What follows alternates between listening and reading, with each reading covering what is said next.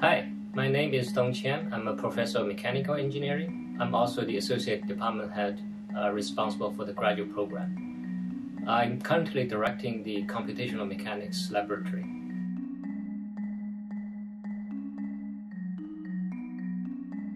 My research is in the area of mechanics of materials and structures, with a focus on computational modeling and simulation.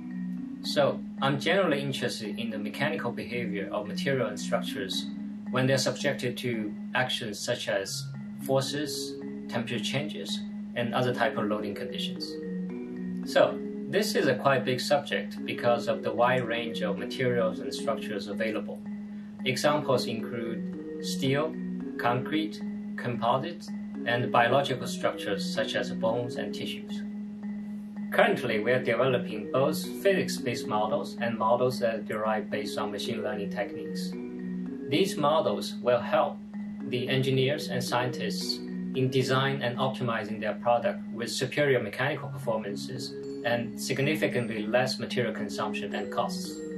The modeling tools that we have developed can help the aerospace engineers to design the proper maintenance plan to make sure the aerospace structures is always in the best operating condition. Please feel free to contact me if you are interested in mechanics and programming. I shall be glad to meet you and discuss with you the potential opportunities.